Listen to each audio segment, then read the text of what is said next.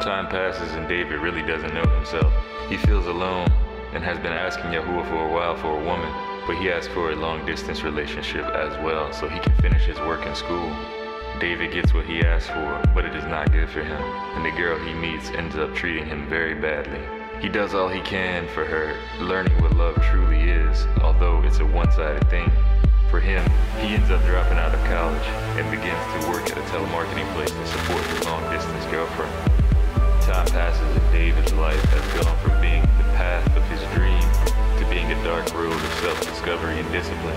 David spends almost every day alone, and he didn't already know his third eye was working. Yahuah had already given him that power, but one day one of his homies tells him that his mind is always speaking, and he never really shuts up in his head. David keeps training and working on himself, and through all the pain, talks to Yahuah every day and ask for different things. After a couple of years of suffering, he can no longer be with the girl. Things have gotten so bad, he can't even trust her, and he still is not rich and famous like he had planned to be before. He knew what would happen, he just wanted to have a wife before it did, but that did not work out. Now David is all alone. The whole time he was with that girl, he still loved himself, he was still creative and learned as much as he could. But the matrix is harsh, and David is alone, having lost love.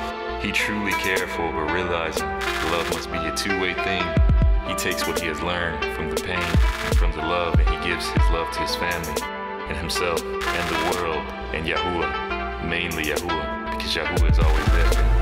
David has learned about different types of love after learning what love really is. But even still, he has become an outcast in his family because they hated how he was treated and the choices